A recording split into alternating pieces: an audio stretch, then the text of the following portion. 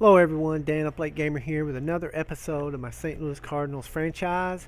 It's June, so that means it's MLB amateur draft time. And here I'm going to take a look at the uh, players I got in the draft. It kind of messed up on me. It didn't show the exact what day the draft was. So when I uh, went ahead and moved ahead, it took me right to the draft, would not let me go back and look at anybody that I scouted or anything. So I decided I knew I needed pitching so I was going to just go full pitching during the whole draft. It ended up I got a couple of pretty good pitchers. Carlos Munoz, he's 18. He's a potential 89. He's a B rating. And then I got Daryl Startup, who's a 94 potential. He's a uh, A potential. And then uh, Juan Garlobo, he's a C. Paul Martinez is a C. Josh uh, Galarraga is a, a D. And then Johnny Cooper's a D. So not a terrible draft. I mean, I wish I would have been able to look at all my draft picks, but I really can't be too uh, disappointed when you get a B and A potential starters in the draft. So that'll really help me in the next couple of years. So now we're going to take a look at the standings. As you can see, I'm in first place, which is great. I'm at 34 and 26. It's June 10th. We're uh, half a game up on the Brewers who are playing really good. And there you got the Pirates at 32 and 26, only a game back. Then the Cubs, they're at 29 and 30. They're they're a team that's coming on at four and a half back. And then you got the Reds, only two games under 500, uh, but they are five games back. So if I can keep this up, I'm 34 and 26. Just try to keep this winning going, and you know carry it on into the playoffs. So we're going to go straight on into the game um, taking on the Colorado Rockies. As you can see, the Rockies are 36 and 22, so they're playing really well. So we're going to really have to stay on top of our game if we're going to beat them. Hopefully, with the uh, being at mile high, hopefully I can hit a few home runs and get ahead really early and kind of have a cakewalk through this game.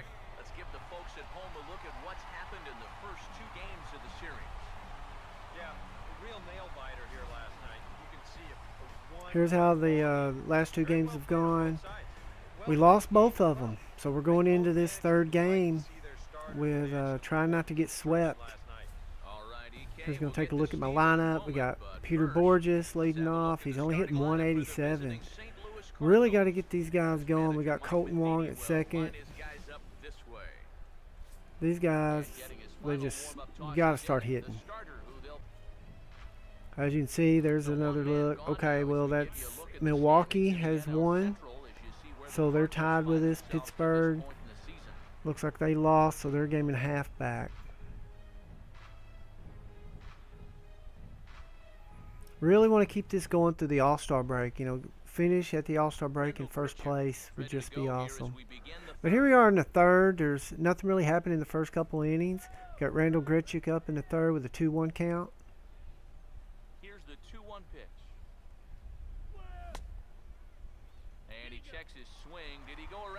Ah, they're going to say he went around. And this brings up a uh, kind of a dilemma. I've got Grichuk here, and I've got to make a decision on Matt Holliday. There's Grichuk. He's going to line that. That's going to get down. That's going to be at least two. But I got a big decision to make with Matt Holliday because he's making around 10 to 13 million a year. I've got around 17 million available in a cap, not cap space, thinking football, but uh, in my budget, and I got to try to sign Heyward after the year. So I've got to make a decision. Um, Holliday is 35 years old, and by the way, here we got Wainwright up. He's going to try to bunt. That looks horrible.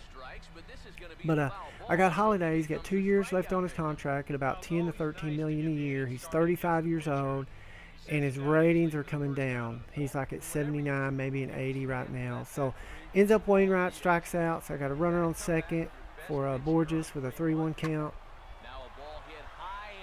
He's going to hit a deep fly ball. But like I'm saying, got Holliday with that two years left on the contract with 10 to 13 million. I've got to decide, do I want to hang on to him and risk not having the money to sign Heyward? So if you you know if you don't care, make a comment. Let me know. What do you think? Should I keep Holliday? He's 35 years old. He's got two years left on his contract. Should I keep him, pay him 10 or 13 million a year, and then take the chance of not having the cash to re-sign Heyward? Now here goes Wong. He's going to hit this deep down the left field line. Oh, and he's going to drop it. That was a. I thought he was going to catch that. Ends up he's going to drop that. That's going to score a run. So we're going to be up one to nothing. But the question is, keep Holliday, 35 years old, 10, 13 million a year for the next two years, or do I try to trade him, try to get a younger outfielder to take his spot? I really need a center fielder, big time. Need somebody that can produce in center field. Uh, but do I keep Holliday or do I let him go, trade him, and then have that cash available to try to sign Heyward? So if you want to, you know, please leave a comment. Tell me what you think because I like to listen to y'all. I mean, I've listened to y'all on trades. There's Holliday. Look what he's going to do. Okay, he ends up that's caught. Wow, thought that was going to get down. That was a nice catch Our Gonzalez out there. Ends up we're going to go into the uh, bottom of the third with a one to nothing lead. But uh, it's uh, you know I like listening to y'all. I like hearing what y'all have to say. Like if you remember, I actually took one of the viewers' advice on the trade for Simmons, my shortstop. And uh, that turns out to be a great trade. He's so good defensively. But here we are, you know, it's, the, it's now it's the fourth inning. We've got a 2-2 count on Blackmon here. That's over to Wong. Oh, whoa, Wong's just, he's doing that a lot. It's weird how he is mimicking real life. Wong has been having some trouble throwing, and he just goes and does it right here. So now they got a uh, runner on first, 0-2 count on Dickerson. I'm sorry, LeMahieu. One two count. Wong going. I wish I wouldn't have made that throw in error. Ooh, that's high in strike zone, but ooh, luckily he bails us out. That was high and outside, and he bailed us out on that. So here we got Tulowitzki. But yeah, leave your comment. Tell me what I need to do with Holliday. Should I keep him? or should I send him out? There he goes. Tulowitzki's going to line that up the middle. He's going for third. Get. Ah, he's going to get in there. So now they're going to have runners at first and third. One out for Corey Dickerson. Wayne Wainwright's really got to get out of this. Oh, that, oh, I could have swore Simmons was going to have that. How's that go under his glove? That's going to end up scoring a run. So now we're tied up one to one. But if you uh, if you look at my center field play, you got Jay and Bourjos. Yeah, Bourjos is great defensively, but he isn't hitting anything. Jay's kind of struggling. So I got to make a decision. There we go. That should be a double play. Nope.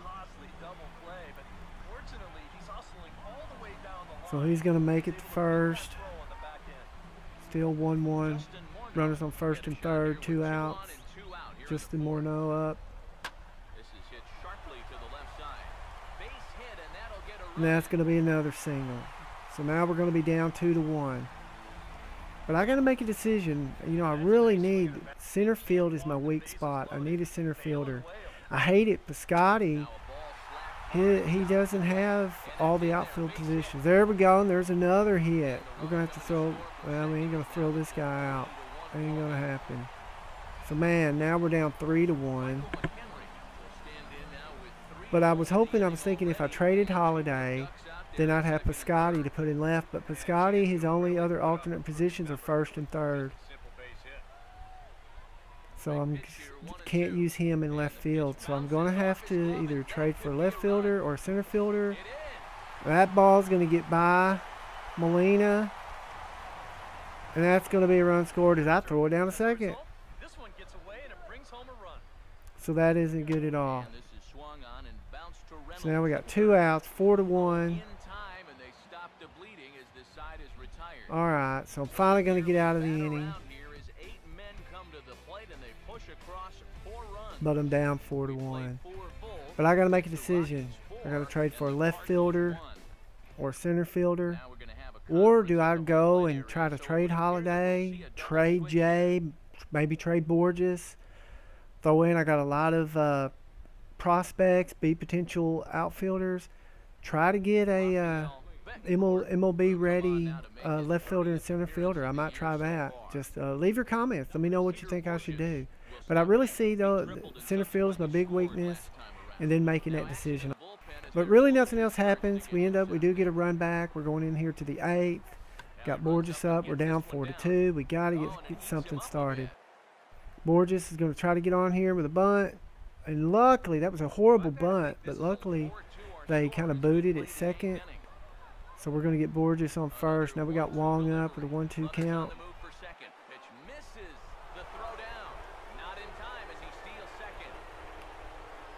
So we're going to have Bourjos. He's going to steal second. But I really like the overall make of my team, except for my center, center field. You know, that's the only place that I really wish I could make a change. And Wong's going to end up hitting at the third, first. I'm sorry, hitting at second, getting thrown out at first. So now we got a runner on third. Got one out. And here comes Holliday. And what's bad is Holliday, other than Heyward, has been my best hitter. That's the only thing I hate about it. But at 35, he's only going to go down. So we got this runner on third with Holliday up.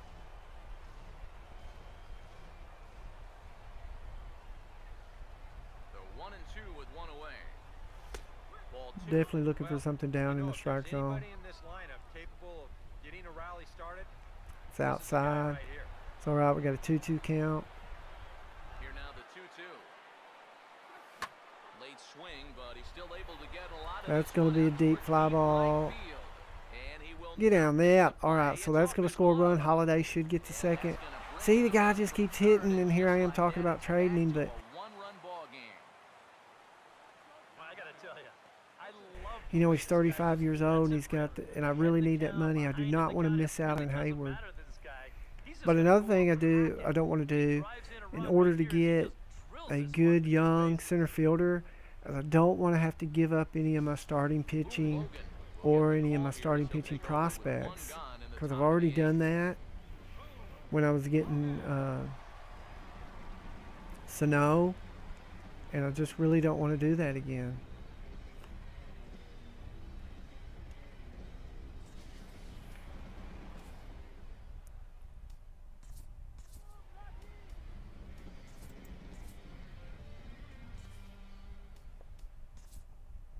So I'm going to have to get a reliever up here.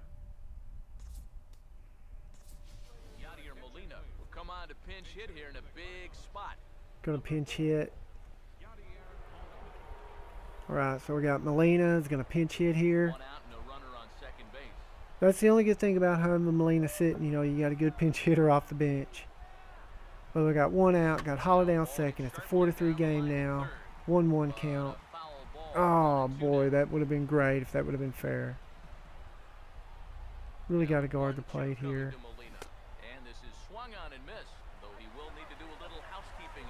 Uh, Molina's going to go down on the strikeout. That is not what I needed. So now I got Sano up here with a 3-2 count. And he's going to strike out. So I end up blowing that opportunity. Down 4 to 3. Man. So at the, going into the bottom of the eighth, I'm down four to three. Definitely got to hold him here. Going to put Seth Maness into the game here.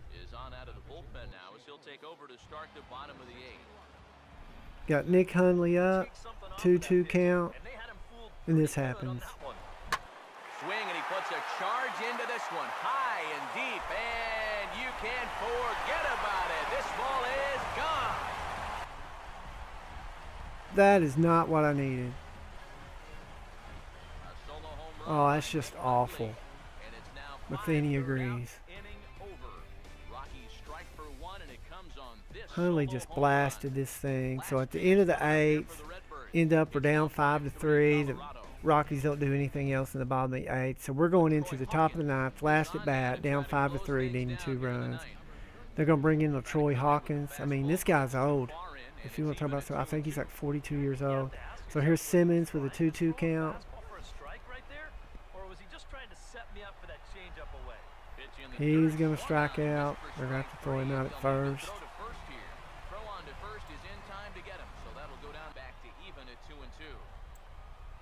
Now I got Tony Cruz up. 2-2 count.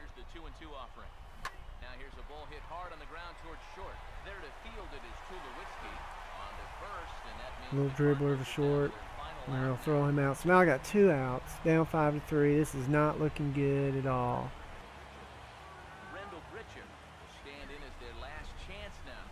Now we got Grichuk up. Got a 3-1 count. Definitely a hitter's count, so hopefully we can get something done here and get a little rally going. At least tie this game up.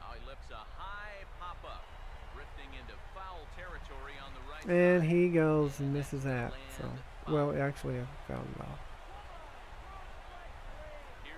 So we got 3-2 count. Another foul off. He's definitely hanging in there.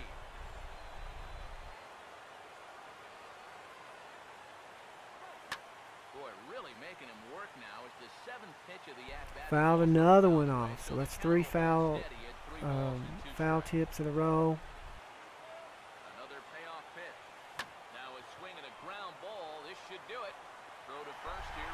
So Grichuk's going to end up grounding out the second. We're going to lose this game. So that's going to end up putting the Brewers a half a game in front of us in the National League Central. But uh, like I said, you know, help me make this decision.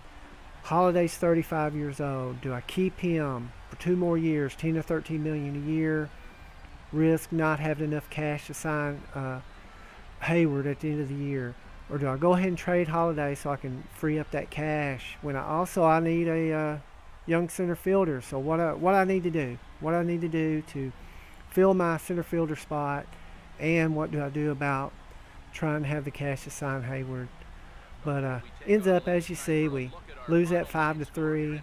Not a very good game for me at all. Not very good. Definitely would like a, to have had a better game than that.